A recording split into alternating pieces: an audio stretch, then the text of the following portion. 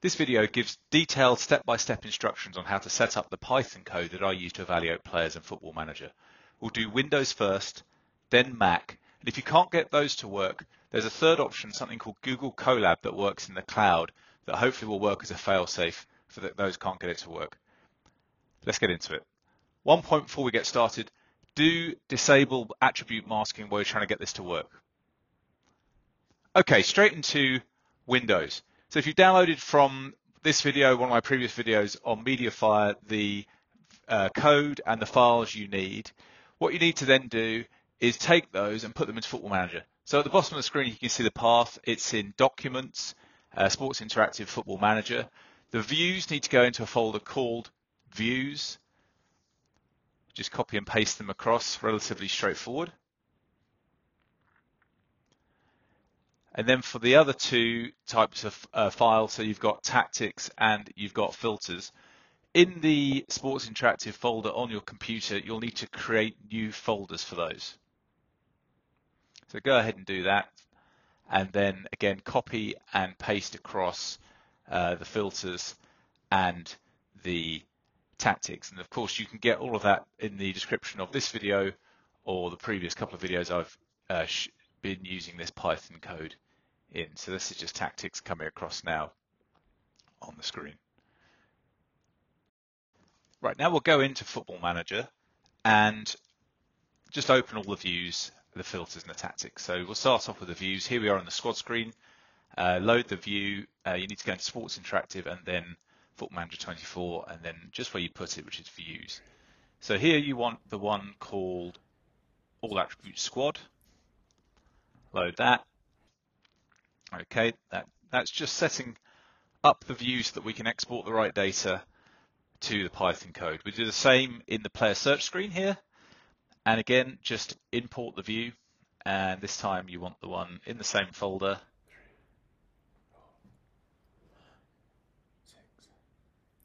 And that's called player search all attributes. And then you do the same in the shortlist screen. Import view. Same folder. And then all attributes shortlist. That's the views. Now just installing the tactics, so load that in as well. That's in the tactics folder.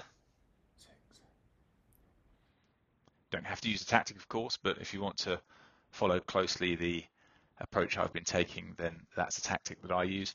And then into the player search screen here, uh, and what we're doing here is importing the filters. So it will import the filters for each and all of the roles in the tactic that we just imported. And in the Python code, the scoring system uh, anticipates that the players will uh, have the roles in a tactic, and this is therefore scoring those roles. Uh, if you look at the code, you'll see there are, there are other alternatives that you can use, most notably uh, a number 10 and a winger. Um, and so uh, have a look at that if you use those in your tactic. Right, now let's get Python set up. This is Anaconda. So go to this website and download here. Uh, and it's a fairly large download. It's a, a one gigabyte download. You shouldn't need this screen, which asks, do you want 64-bit Windows or something else? It should do it all automatically for you.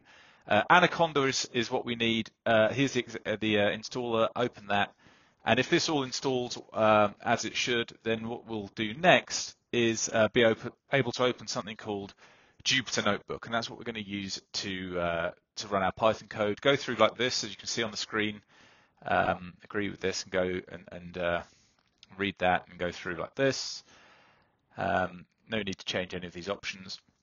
Go ahead and install, and then hopefully what you'll find is Anaconda will install itself, and you can um, go to the Start menu and load Anaconda.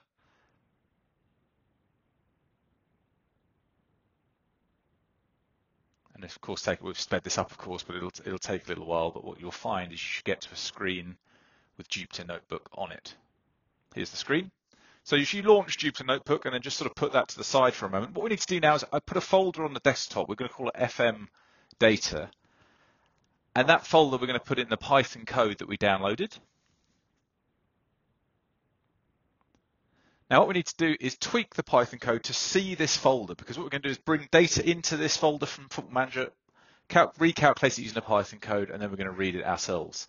So in this folder, we've got the Python code. We'll navigate to that in Jupyter Notebook, so you can go to desktop and then the file, the folder name you've just created, open the Python code, it will open in Jupyter Notebook. We need to change this code in two places to ensure that it's got the file path of the folder that we just created. So the first place uh, we'll see on the screen here, we'll copy address as text. That gives us the the, the, the uh, path that we need. Now, one quirk here for Windows users is we need to change the direction of these backslashes or these slashes from one to the other, uh, and then we need to add one at the end. So we need to it needs to be exactly like this. So copy this precisely. Obviously, use your own file path, and then copy the text, and then co um, copy it here. That much text. Take it to the bottom, and in this piece of code, replace the file path with the same one. Okay, so once you've done that, you can save the code. That's now looking at the correct folder on your Windows desktop. We can now test this. Let's take some some uh, data out Football Manager. So let's take it. Let's run a filter. This is one of the filters uh, that we've just installed. A striker. We're Arsenal uh, in in this uh, save on Football Manager, and uh, what we'll do is we'll see which strikers might want to sign for Arsenal. Okay, so here it's Control A to select all, just click in the data, Control A, Control P, that's web page. Then go uh, to the folder that you've just created, we've called it FM data, and then this just needs to be a unique final uh, name of any type, so just whatever, and then save it. You'll see it in the folder. That's come out of Football Manager. Now go here and run the code. So go cell run all. This will run the code. Make sure, by the way, that the, the, the, view that we installed before, the one called All Attributes, is the one that you can see in Football Manager. This will then, the code runs, and here is the result of the code. These are a bunch of forwards. There's a Zimhem at the top. He's got a score of 16. Um, and let's just check this works by doing the Arsenal squad. So if we go to the Arsenal squad again, make sure the, the view says all attributes. If it doesn't say that, you'll get an error. Control A, Control P, having clicked into the data, go back and find your folder, give it a unique file name, something for the Python code to go and look at and see, run the code, it's telling it, go and look at that data, read it, calculate scores, and put it back in the folder. Go look in the folder, what's the most recent file, open it, you've got the Arsenal squad, and let's see if they've got a forward as good as a Zimhem 16. No, they haven't. Gabriel Jesus 15.1. So if you've got an Arsenal save, consider buying a Zimhem. Right, now on to Mac. So same idea, download the uh, code and the filters, the views and the tactic from, from MediaFire and do that through the link in the description uh, of either this video or uh, one of my previous videos that features uh, Python evaluation of, the Football Manager players. Uh, once you've done that, uh, what you need to do again, download Anaconda, follow the follow the steps in the Windows part of this video for that. Then you want to put a folder on the desktop, so give it a name. I've called this one FM data, and here we're going to put the Python code we downloaded. So here's the downloaded uh, zip file from the description, and then take the Python code out that file there and put it in the folder you've just created on the desktop. Once you do that, we need to go into Anaconda, which is, is in applications. Once you've installed Anaconda, get that open, and then you should see the same screen pretty much as you see in the in the Windows version uh, of, of, of this uh, and launch Jupyter Notebook. It's the same steps and then so we've got Jupyter Notebook and we can navigate to the folder on the desktop that we just place the Python code in and open it. Now what we need to do here is we need to change the path on the Jupyter Notebook so that it looks to the folder just created. So that's the um, path we need to change. And then to look what does it need to be, on Mac, right click on the folder and hold in option and you'll get something that says, once you've held in option, it says copy FM data as path name. Take that. That then gives you something copied in that you can paste. There it is, pasted in. And then just take that same text, copy and paste it to the bottom of the code and put it here. Once you've done that, save your Jupyter Notebook. Okay, that code's good to go. You then need to pull some data out of Football Manager. So let's switch to Football Manager. And here's my QPR save. And switch the view to all attributes squad. Uh, again, put the right views in. Uh, use the, the Windows guide in this video. Um, use the timestamps in the video to go back to that. uh, app, uh, uh, sorry, Command A, Command P, bring it out like this, give it a, um, put it in the folder that's on a desktop we just, we just talked about, give it a unique file name. Then if you navigate to that folder, you should see it's there. Then run the code. The code will read that export from Football Manager, perform calculations, and post there an output. Here's a squad from QPR. Okay, so if the Windows or the Mac steps earlier in this video haven't worked for you, another way to do it is to use something called Google Colab. So we'll take this first search uh, result here and click through into this. What we do here is we go to open a notebook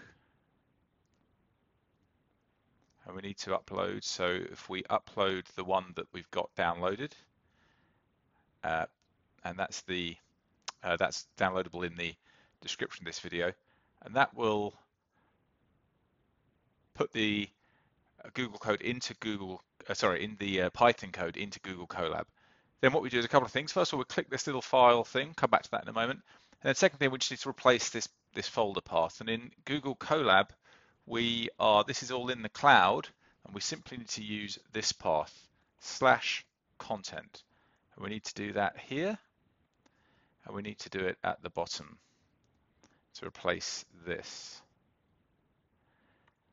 So we replace those and we save. Okay, now we need to upload some data from FM. So what we'll do is, again, if we run, let's run a player search. Let's run a goalkeeper search filter. Okay, so here's some goalkeepers. We'll do Command A, Command P on Mac. It's Control A, Control P on PC. We'll save like this and we'll put it into the place that we know on the desktop. So for me, I'll go desktop and then FM files on desktop just to be somewhere we know it is. Give it a unique file name. Again, doesn't need to be anything particular, just needs to be unique. Uh, and then we can go back into Google Colab and upload that. So we'll click on this upload files and we'll navigate to where we just were. So FM files on desktop and that's the file that's just come out of FM. Okay, so that's now in Google Colab. And then what we do is run the code. So we'll go to runtime here and run all. And it will run all of the code in Google Colab.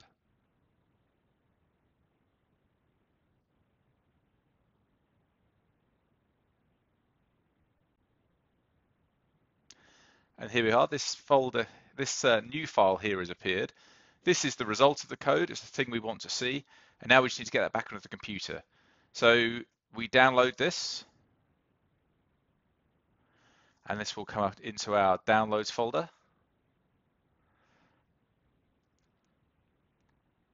And that's the file we just downloaded. We can use the date added to see it's the most recent folder. Double click on that and that's our answer. So it's another step using Google Colab. You have to use the cloud. It's a little bit slower. And so I would try to use the Windows steps in this video or the Mac steps. Um, if you can't get those working, here's a fail-safe, another way of trying to do it.